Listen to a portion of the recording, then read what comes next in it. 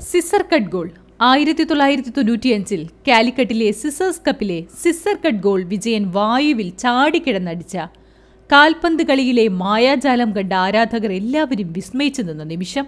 എന്നാൽ വിപ്ലവമണ്ണായ കൂത്തുപറമ്പിലെ ഒരു ഏഴു വയസ്സുകാരന് അന്നാ കാഴ്ച കേവലം വിസ്മയം മാത്രമായിരുന്നില്ല. അന്നു മുതൽ അവന്റെ ജീവിതം മുഴുവൻ ആ ഓർമ്മയായിരുന്നു.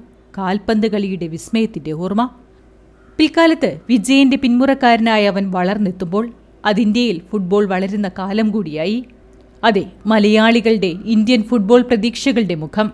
അതിന്റെ അമരത്ത് നിൽക്കുന്ന നായകൻ സി കെ വിനീതിന്റെ കഥ കേൾക്കാം.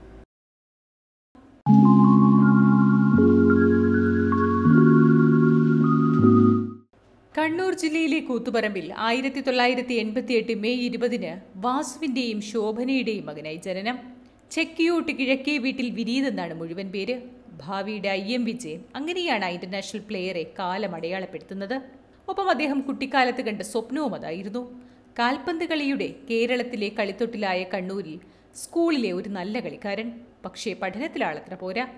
അത് പിന്നെ അങ്ങനെയാണല്ലോ. സ്പോർട്സും പഠനവും ഒരുമിച്ച് വഴങ്ങുന്ന ഇതിഹാസങ്ങൾ വളരെ ചുരുക്കം. പ്രത്യേകിച്ചും കാൽപന്ത് കളിയുടെ ലഹരി അറിഞ്ഞവർക്ക് ക്ലാസ് മുറികളേക്കാൾ മൈതാനങ്ങളോടാണ് പ്രിയമെന്നതിന് ഉദാഹരണങ്ങൾ എത്രയോ. പക്ഷേ ബോർഡിംഗ് സ്കൂളായ നവോദയയിൽ അദ്ദേഹത്തിന് അഡ്മിഷൻ കിട്ടി. അവിടെ പഠിക്കുമ്പോൾ കളിക്കളത്തിലേക്ക് പോകുന്നതിന് മുൻപ് തന്റെ ക്ലാസ്സുകൾ അവസാനിക്കുന്നത് വരെ വിനീതിന് കാത്തിരിക്കേണ്ടി വന്നു. പക്ഷേ അന്ന് അവിടുത്തെ പി ടി ടീച്ചർ അവനിലെ ഫുട്ബോളറെ കണ്ടെത്തി. വേണ്ട പ്രോത്സാഹനം നൽകി. കാസർഗോട്ടെ സായി സെലക്ഷൻ ക്യാമ്പിലേക്ക് വിനീതിനെ തെരഞ്ഞെടുത്തു.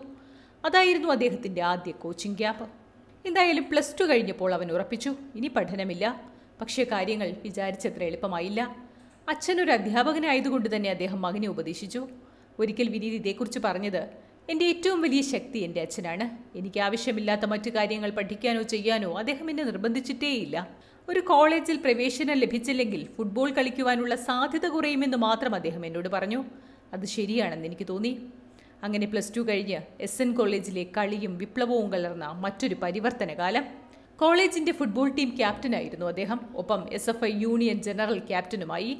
കൂത്തുപറമ്പിൽ നിന്നും വെളുപ്പിന് നാലു മണിക്ക് സൈക്കിളിൽ ബസ് സ്റ്റോപ്പിലേക്ക് അവിടെ നിന്ന് ആദ്യത്തെ ബസ് പിടിച്ച് അഞ്ച് നാൽപ്പത്തി അഞ്ചിന് കോളേജ് മൈതാനത്തിലേക്ക്. അജയൻ മാഷോ അല്ലെങ്കിൽ ഭരതൻ കോച്ചോ വരുന്നതിന് മുൻപേ പ്രാക്ടീസിന് തയ്യാറായ കലാലയ ഓർമ്മകൾ.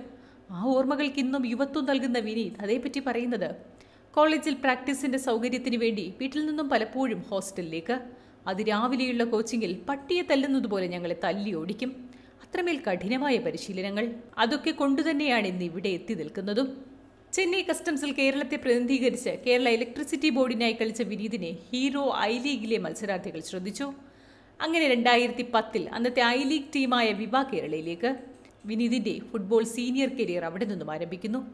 എന്നാൽ ആദ്യ മത്സരത്തിൽ മികച്ച പ്രകടനം അദ്ദേഹത്തിന് കാഴ്ചവെക്കാനായില്ല. ഏറ്റവും നിരാശാജനകമായ ഘട്ടമെന്നാണ് വിനീത് അതിനെ അടയാളപ്പെടുത്തുന്നത്. രണ്ടു വർഷത്തിനു ശേഷം കൊൽക്കത്തയിലെ പ്രയാഗ് യുണൈറ്റഡിനായി ബൂട്ടണിഞ്ഞ അദ്ദേഹം അരങ്ങേറ്റ മത്സരത്തിൽ തന്നെ ഗോൾ നേടുകയും ആദ്യ വർഷത്തിൽ തന്നെ മുൻനിരക്കാരനായി മാറുകയും ചെയ്തു. അക്കാലത്ത് ഇന്ത്യൻ ദേശീയ ടീമിന്റെ പരിശീലകനായിരുന്ന വിം കോവർമാൻ പതിനാറംഗ ടീമിൽ വിനീതിനെ സെലക്ട് ചെയ്തു. പാലസ്തീനെതിരായ സൗഹൃദ മത്സരമായിരുന്നു അത്.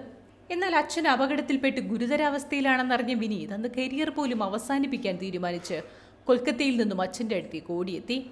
അച്ഛൻ വേദന കടിച്ചമർത്തുന്ന കാഴ്ചകൾ അദ്ദേഹത്തെ വല്ലാതെ സങ്കടപ്പെടുത്തി. അന്നയാൾ പ്രയാഗിനെ വിളിച്ചു പറഞ്ഞു ഞാൻ ഫുട്ബോൾ കളിച്ചു കഴിഞ്ഞു. ഇനി തിരിച്ചു വരവില്ല. പിറ്റേന്ന് രാവിലെ തിരികെ പോകില്ലെന്ന വാർത്ത അമ്മയോടും എല്ലാവരോടും പറഞ്ഞു. വിധിയെന്ന് പറയട്ടെ അപ്പോഴാണ് ദേശീയ ടീമിലേക്ക് തിരഞ്ഞെടുക്കപ്പെട്ട കോൾ അദ്ദേഹത്തെ തേടിയെത്തുന്നത്. ആ സന്തോഷ വാർത്ത അറിഞ്ഞ അച്ഛൻ ആശുപത്രിയിൽ വെച്ച് വിനീതിനെ വിളിച്ചു പറഞ്ഞു. അടുത്ത ഫ്ലൈറ്റിൽ നീ തിരിച്ചു പോവുക. അതാണ് എനിക്കായി നീ ചെയ്തു തരേണ്ട ഏറ്റവും വലിയ കാര്യം. അങ്ങനെ ആ മകൻ വീണ്ടും കളിക്കളത്തിലേക്ക്. എന്നാൽ അന്താരാഷ്ട്ര ടീമിൽ അരങ്ങേറ്റം കുറിക്കാൻ പോകുന്ന ദിവസം ആദ്യ ഇലവനിൽ രണ്ട് മുതിർന്ന കളിക്കാർ മാത്രമുള്ള പാലസ്തീൻ ടീമിനോട് ഇന്ത്യ നാല് രണ്ടിന് തോറ്റു. എൺപത്തിനാല് മിനിറ്റിന് ശേഷവും വിനീത് ഉപയോഗിക്കാത്ത പകരക്കാരൻ മാത്രമായി. വിനീത് പിന്നീട് എയർ ഇന്ത്യക്കെതിരെ ശക്തമായി അഞ്ഞടിച്ചു. അന്നവൻ ഹാട്രിക്ക് നേടി വിജയിച്ചു. ബാംഗ്ലൂരു എഫ് സിയുടെ വരവോടെ ഇന്ത്യൻ ഫുട്ബോൾ ഒരു പുതിയ പവർ ഹൗസിന്റെ ഉയർച്ചയ്ക്ക് സാക്ഷ്യം വഹിക്കുന്ന സമയം. ഇന്ത്യയിൽ ക്ലബ്ബ് നടത്തുന്ന രീതി ബാംഗ്ലൂർ മാറ്റി. മികച്ച പ്രചാരണവും സ്മാർട്ട് മാർക്കറ്റിംഗും അവർക്ക് വലിയ ജനക്കൂട്ടങ്ങളെ നൽകി. ആ ട്രാൻസ്ഫർ വിൻഡോയിൽ വിനീതും ഭാഗമായി അദ്ദേഹത്തിന് രണ്ട് ഓഫറുകൾ ഉണ്ടായിരുന്നു. ഒന്ന് പൂനെ എഫ് സിയിൽ നിന്നും മറ്റൊന്ന് ബാംഗ്ലൂർ എഫ് സിയിൽ നിന്നും. ബാംഗ്ലൂർ അടുത്തായതിനാൽ മാത്രമായിരുന്നു ആ ടീം തെരഞ്ഞെടുത്തത് പോലും. എന്നാൽ താൻ എടുത്ത ഏറ്റവും മികച്ച തീരുമാനങ്ങളിലൊന്നതാണെന്ന് പിൽക്കാലം തെളിയിച്ചു. ഒരു പ്രൊഫഷണൽ ഫുട്ബോൾ പ്ലെയർ എന്ന നിലയിൽ തന്റെ ഗുണനിലവാരം വർദ്ധിച്ചു എന്ന് വിനീത് പറയാറുണ്ട്. എന്റെ കരിയറിൽ എന്നെ നയിച്ചിട്ടുള്ള കോച്ചുകളിൽ നിന്നും ബാംഗ്ലൂരിന്റെ ആഷ്ലി ഒന്നാമത്തെയോ രണ്ടാമത്തെയോ സ്ഥാനത്ത് വരുന്നു. ഞാനൊരു വിങ്ങറായി കളിക്കാറുണ്ടായിരുന്നു. പക്ഷേ എനിക്ക് സ്ട്രൈക്കറായി കളിക്കാമെന്ന് അദ്ദേഹം എന്നോട് പറഞ്ഞു. എന്റെ വേഗതയും ഗുണങ്ങളും എങ്ങനെ നന്നായി ഉപയോഗിക്കാമെന്ന് അദ്ദേഹം എന്നെ മനസ്സിലാക്കി തന്നു. അങ്ങനെ കളിക്കളത്തിൽ നിറഞ്ഞാടിയ ഒരു കാലം. ശേഷം മഞ്ഞക്കുപ്പായത്തിലേക്ക്. രണ്ടായിരത്തി പതിനഞ്ച് മഞ്ഞക്കുപ്പായത്തിന് നിരാശയോടെ തലതാഴ്ത്തി നിൽക്കേണ്ടി വന്ന സമയം.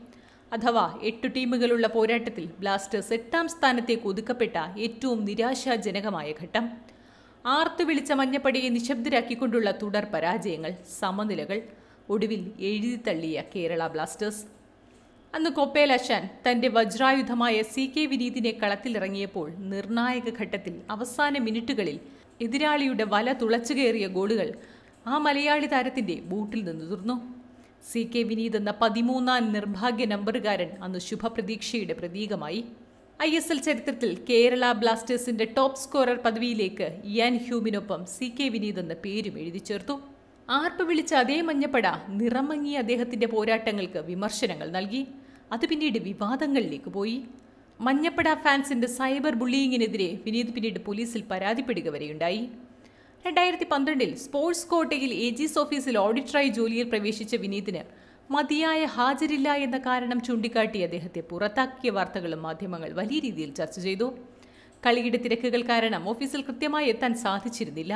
ഇത് സമ്മതിക്കുന്ന വിനീത് ജോലിയിൽ നിയമിക്കുമ്പോഴേ തനിക്ക് കളിയായിരുന്നു പ്രഥമ പരിഗണന. ആദ്യം കളി പിന്നീട് ജോലി എന്ന് താൻ വ്യക്തമാക്കിയിരുന്നു. ഐ എസ് എൽ വേളയിൽ പോലും കളി നിർത്തി ജോലിക്ക് ഹാജരാകാൻ ഓഫീസിൽ നിന്ന് വിളിച്ചുകൊണ്ടേയിരുന്നു. എന്നാൽ സ്പോർട്സ് കോട്ടയിൽ ജോലി നേടിയ തന്നെ ഫുട്ബോൾ കളിക്കാൻ വിടുന്നില്ല എന്ന് പറയുന്നതിൽ എന്തർത്ഥമാണെന്നും വിനീത് ശബ്ദമുയർത്തി. അതോടെ അദ്ദേഹത്തെ തിരിച്ചെടുക്കാൻ ഏജീസ് ഓഫീസ് തയ്യാറായില്ലെങ്കിൽ അദ്ദേഹത്തിന് സംസ്ഥാന സർക്കാർ ജോലി നൽകുമെന്ന് കായിക വകുപ്പ് മന്ത്രി അറിയിച്ചു. വിനീതിന്റെ വ്യക്തിജീവിതവും നിലപാടുകൾ കൊണ്ട് ശ്രദ്ധേയമാണ്. അലഞ്ഞു തിരിയുന്ന ഒരു ഫുട്ബോൾ കളിക്കാരൻ എന്ന നിലയിൽ എന്റെ ജീവിതത്തെക്കുറിച്ച് ഭാര്യ ശരണ്യയ്ക്ക് നന്നായി അറിയാമെന്ന് പറയുന്ന വിനീത് യാത്രകളെയും ഫോട്ടോഗ്രഫിയെയും സ്നേഹിക്കുന്നു. തന്റെ മകൻ ഏതൻ സ്റ്റീവ് മതമില്ലാതെ വളരുമെന്ന മലയാളി ഫുട്ബോളർ സി കെ വിനീതിന്റെ പ്രസ്താവനയ്ക്ക് വലിയ കയ്യടിയാണ് ആരാധകരിൽ നിന്ന് ലഭിച്ചത്. പ്രായപൂർത്തിയായ ശേഷം അവന് വേണമെങ്കിൽ മതം അവൻ തന്നെ തിരഞ്ഞെടുക്കട്ടെ എന്നായിരുന്നു വിനീത് പറഞ്ഞത്. വിനീതിന്റെ പ്രസ്താവനയ്ക്ക് പിന്നാലെ വിനീതിനെ പിന്തുണച്ച് സമൂഹ മാധ്യമങ്ങളിൽ നിരവധി പേർ എത്തി. ലിവർപൂളിന്റെ കടുത്ത ആരാധകനായ വിനീത് ക്ലബിലെ എക്കാലത്തെയും മികച്ച താരങ്ങളിൽ ഒരാളായ സ്റ്റീവ് ജെറാൾഡിന്റെ പേരാണ് മകനിട്ടിരിക്കുന്നത് പോലും. ഏതെന്നാൽ കരുത്തുള്ളവൻ എന്നർത്ഥം. ഒരിക്കൽ ഫുട്ബോൾ മതമായിരുന്ന ഇവിടം ഇന്ന് ക്രിക്കറ്റ് ലഹരിയിൽ മതിമറക്കുമ്പോൾ വിസ്മൃതിയിൽ ആണ്ടുപോയിക്കൊണ്ടിരിക്കുന്ന കാൽപന്ത് കളിയെ വീണ്ടും ആരവങ്ങളിലേക്ക് കൊണ്ടുവന്ന ഒരു തലമുറയുടെ പ്രതീകം. ഐ എം വിജയന്റെ പിന്മുറക്കാരൻ സി കെ വിനീത് എന്നത് സാധ്യതകളുടെ കഠിനാധ്വാനത്തിന്റെ പ്രത്യാശയുടെ വിനീതമായ മറ്റൊരു മുഖം തന്നെയാണ്. കാൽപന്ത് കളിയുടെ കേരളത്തിന്റെ പുതിയ മുഖം. Silver screen